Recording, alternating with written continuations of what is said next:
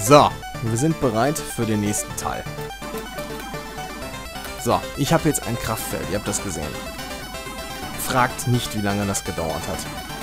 Also man verliert automatisch den Schild. Das scheint an... Ach, da ist auch schon wieder alles weg. Diese komische Superkanone. Äh, kann nicht wahr sein. Die Superkanone macht sofort den Schild kaputt. Äh, bin ich denn hier im Irrenhaus? Nein, gut. Wissen wir.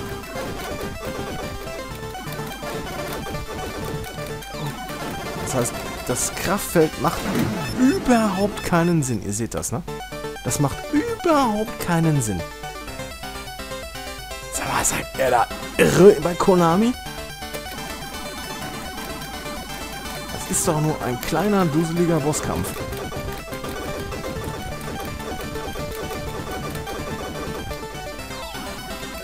So. Und Glück haben. Und jetzt nach oben. Unten. So, komm, komm, komm, komm, komm, komm, komm, komm, komm, komm, komm, komm, komm, komm. Und nochmal.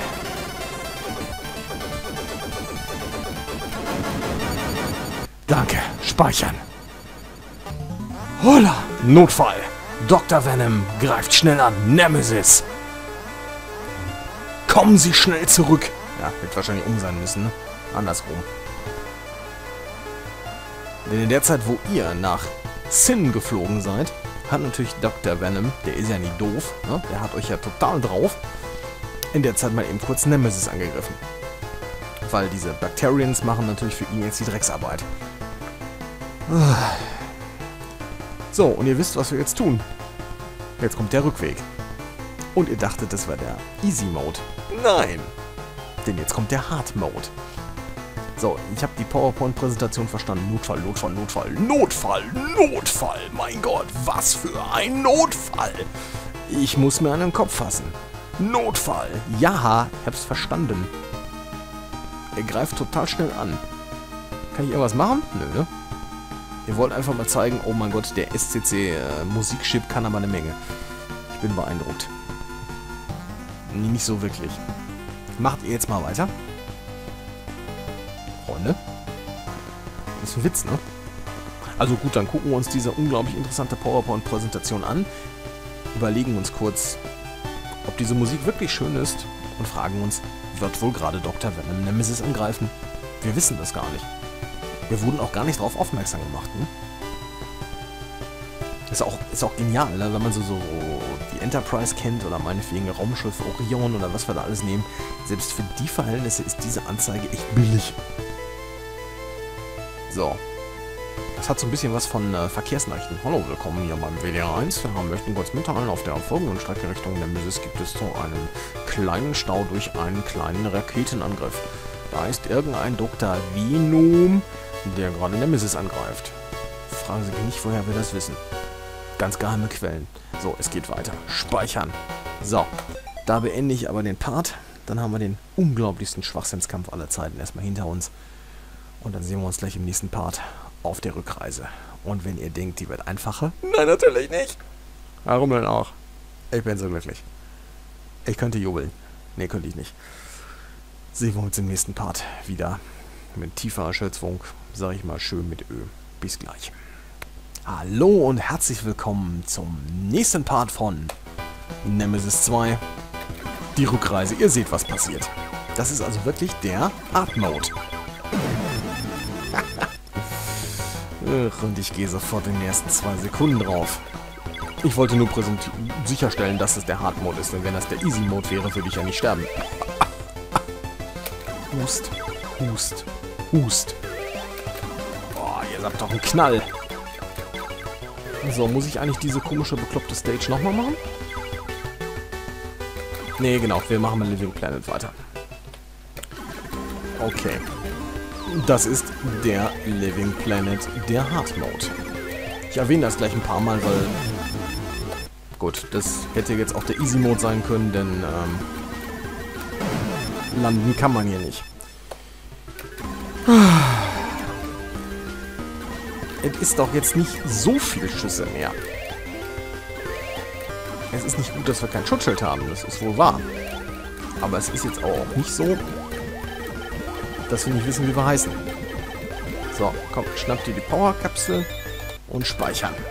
So, die sind ein bisschen schneller, wie wir sehen. Das ist mir aber auch egal. Weil sterben tun sie genau wie beim letzten Mal.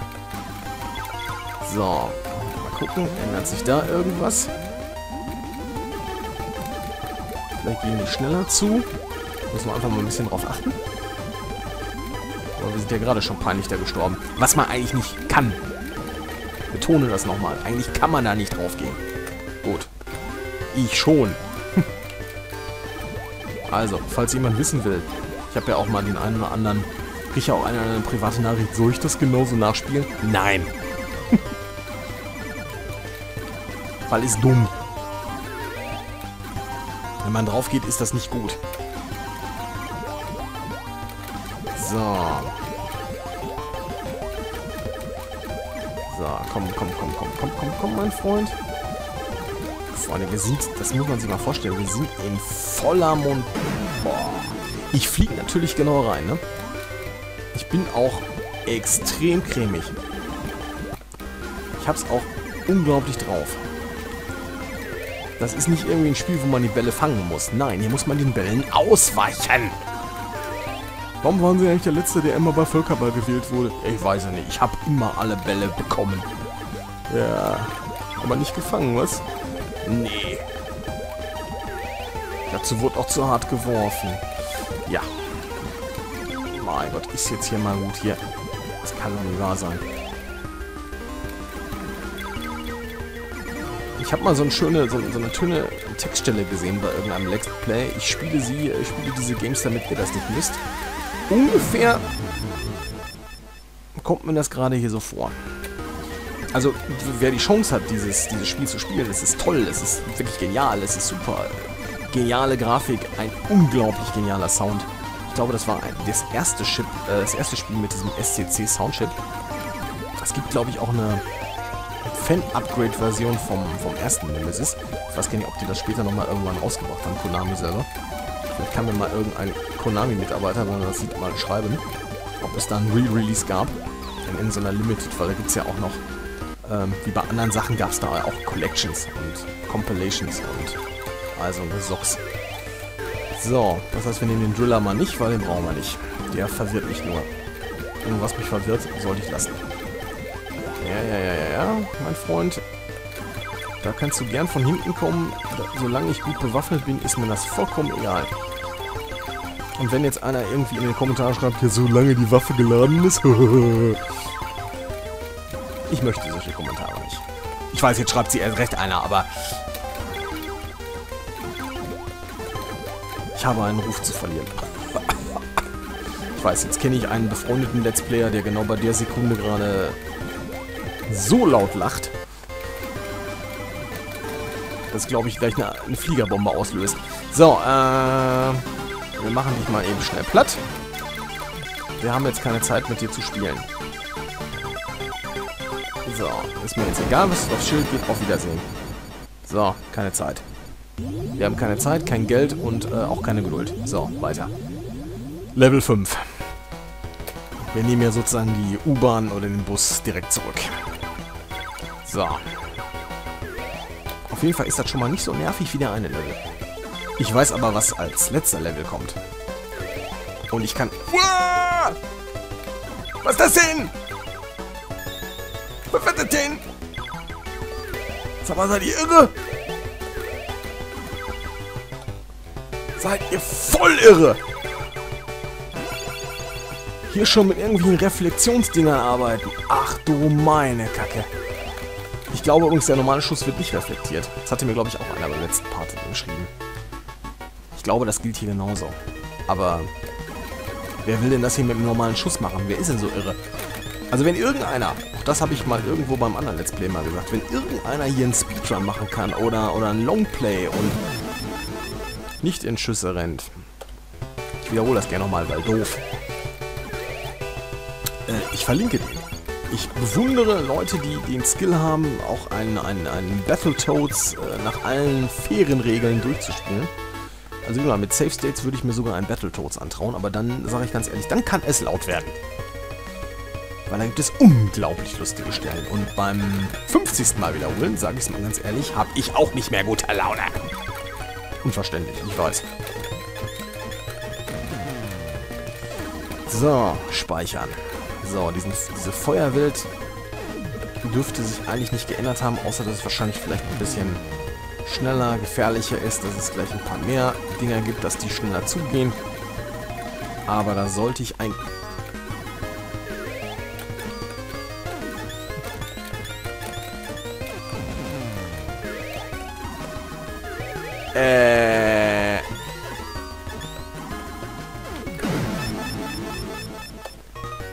habt das gesehen, ne? Ihr habt das gesehen. Sag mal, seid ihr nicht mehr ganz frisch in der Murmel? Ihr seid nicht mehr ganz frisch in der Murmel. Ich muss da schießen. Ich meine, das wussten die Programmierer.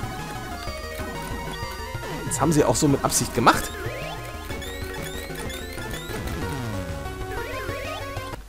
Kann es sein, dass ihr nicht alle Latten am Zaun habt?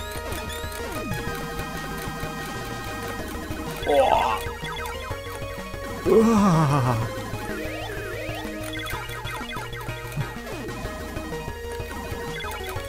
Das wird gleich noch ein Survival-Match, ne? Na, das war natürlich dumm.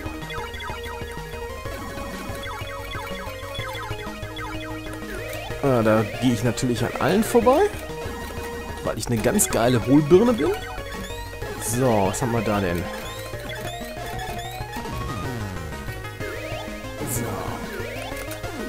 Den will ich haben. So, das bleibt gleich. Speichern. Speichern.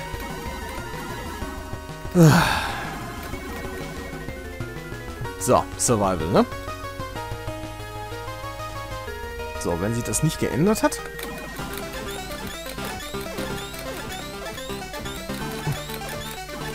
Dann sollte ich das eigentlich hinkriegen.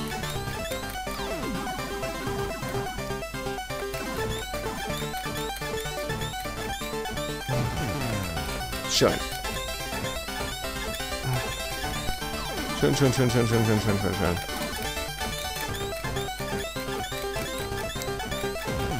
Schön. Aber? Ah, gut. Ihr wollt noch. Kann sein, dass das gerade länger läuft, ne?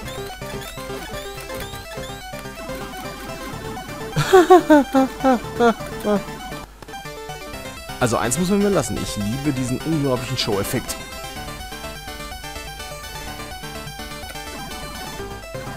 Ach, da sind sie wieder. Der Elektroschocker meines Vertrauens. Da spiele ich jetzt immer auf Nummer sicher.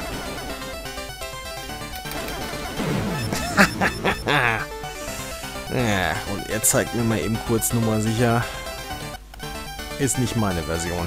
Mein Gott. Können wir, oder können wir wieder das lustige Spiel machen? So, wir brauchen da nicht mehr rein. Wir gucken genüsslich zu. Beziehungsweise nicht, dass das Spiel wieder unfair wird. Na? Oh, ist er gerade draufgegangen? Oh, ist er putt. Wie ärgerlich. Also auf dem Rückweg, wenn ihr alle sieben Waffen habt, dann braucht ihr das nicht mehr machen. Dann braucht ihr dann nicht mehr entern. So, wir sind bei Stage 4. So.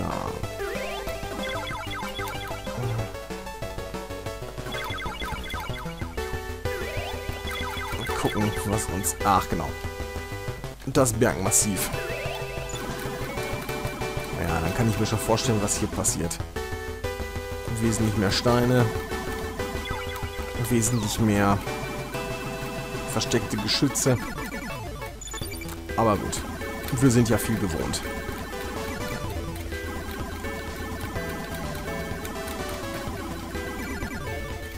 Immerhin hat man diesen großen Vorteil, dass man natürlich, desto weiter man zurückkommt, die Stages auch eher kennt. Weil die haben natürlich großartig jetzt nicht wirklich viel an der Architektur anders gemacht. Da waren sie doch ein bisschen faul. Das heißt, ein bisschen mehr aggressivere Gegner. Bisschen mehr Gegner, die euch auch richtig auf den Nerven gehen. Schlechte Spieler, die immer noch in irgendwelche Schüsse rennen. Mein Gott. Warum sage ich mich nicht selber? Nicht machen. Ist doof. So.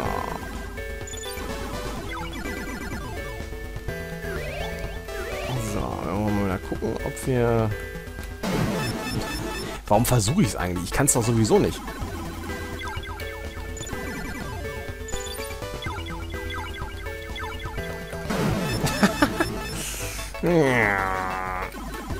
Und wenn man kein Schild hat, sollte man natürlich keine Schüsse mehr abfangen. Weil das wäre doof. Wisst ihr was? Ich lasse das. ich sammle die jetzt ein. Na komm. Na komm, komm, komm, komm. Ein Schuss. Ein Schuss. Danke. Logisch, wenn man es fast nicht braucht. So. Da haben wir fast ein neues Schild. Wir haben ja gerade schon wieder einen Schuss kassiert. Ihr könnt auch mal darauf achten, weil das kriege ich auch nicht mehr hin, wie viele Schüsse das Ding überhaupt verträgt. Ich glaube aber, das ist auch wieder unterschiedlich. Da gibt es, glaube ich, irgendwie Schüsse, wie man sieht ja vom Bossgegner ist das Schild sofort weg. Ähm, ich glaube, diese komischen Steine zählen, glaube ich, auch vier oder so von normalen Schüssen, aber es kann auch sein, dass die wieder normal zählen. Wenn das einer weiß, einfach posten. So, Vektor.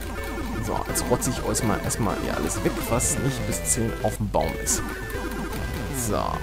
Ich will jetzt erstmal hier aufräumen. Vielleicht schaffen wir nämlich dann in dieser Aufnahme nämlich sogar noch diese Stage. Dann haben wir...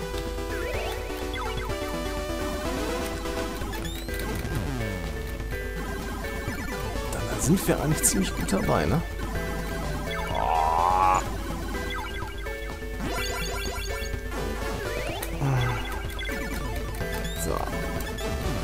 So, jetzt müsste mir noch einer mal einen Schuss verpassen. Macht er. Brav. Gehen wir nach oben. Wir haben ja alles. Speichern. Das ist ja... Habe ich jetzt das System endlich begriffen? Also ich habe ja, ich weiß ja nicht, wie viel, 96 Mal ich Salamander durchgespielt habe. Da habe ich immer noch Albträume von. Aber es ist dann wirklich so, wenn ihr das Spiel x tausendmal durchspielt, habt ihr die Spielmechanik begriffen. Das macht das Spiel für euch nicht angenehmer. Also wirklich nicht. Lasst euch nicht erzählen, dass ihr dann irgendwie äh, das dann locker reinnehmt. Mhm, das tut er nicht. Ihr wisst nur, was eine Menge auf euch zukommt. So, komm, machen wir mal. Zack. So, dich auch weg. Da kommt doch gleich wieder irgendein so Survival-Unsinn. Der kommt doch jetzt, glaube ich. So. So, ich will aber aufräumen. Ich will hier keinen sehen.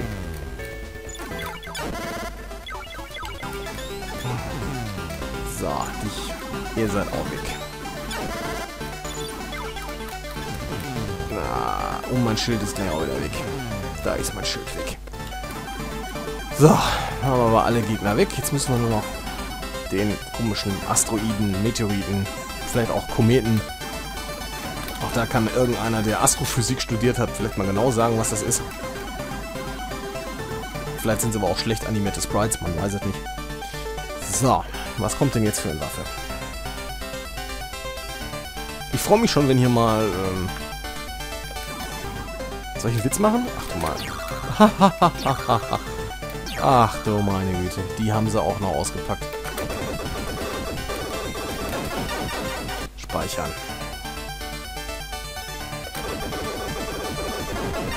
Ihr seht, die sind jetzt viel schneller. Ich meine, die sind zwar auch schnell Elektroschrott, aber...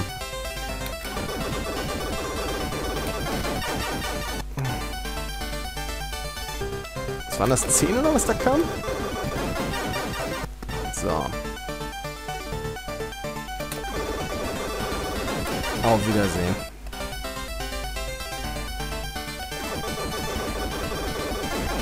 Die dürften wir übrigens bei Nemesis 3 auch wiedersehen, diese komischen Schiffe. Das kann ich schon mal vorwegnehmen. Dieses Mutterschiff ist so eine Art Running Gag. Da haben wir noch einen. Und der erwischt uns natürlich. Und der erwischt uns gleich nochmal. So, ist hier gut hier? Mein Freund? Ah, da kommt er wieder. Da kommt wieder Elektroman. Äh, okay, das war ein bisschen äh, sehr optimistisch. Aber der Trick äh, scheint... Ja, nicht... Äh,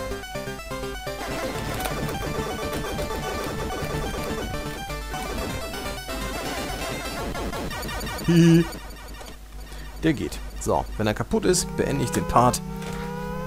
Und dann geht's weiter. Zurück. Ich grüße mal schön. Bye, bye. Tschüss, tschüss. Und das nutze ich auch gleich als Überleitung.